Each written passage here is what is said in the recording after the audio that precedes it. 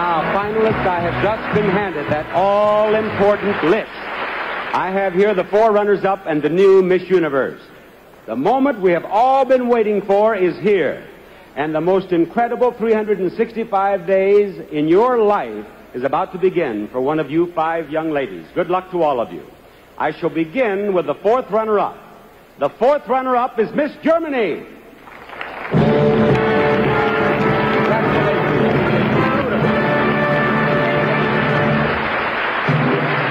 The third runner-up is Miss Colombia.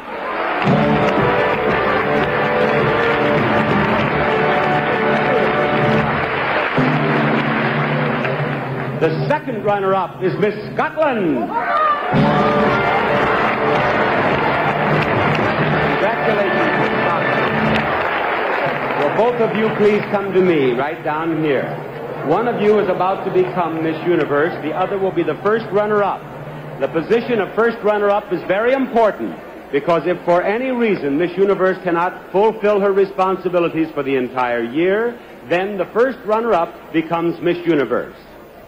The first runner-up is Miss Austria. Miss Trinidad Tobago is Miss Universe. Congratulations,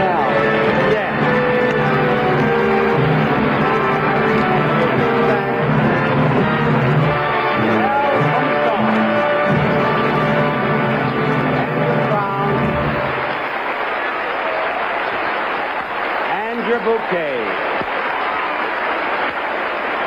Miss Universe of 1977 is Janelle Commissiong, who just a few moments ago was Miss Trinidad Tobago. And now, as your predecessor, Rina Messinger, reads the Miss Universe Creed, will you make your first official walk and greet this wonderful audience in Santo Domingo? We, the young women of the universe, believe people everywhere are seeking peace, tolerance, and mutual understanding. We pledge to spread this message in every way we can, wherever we go. Welcome,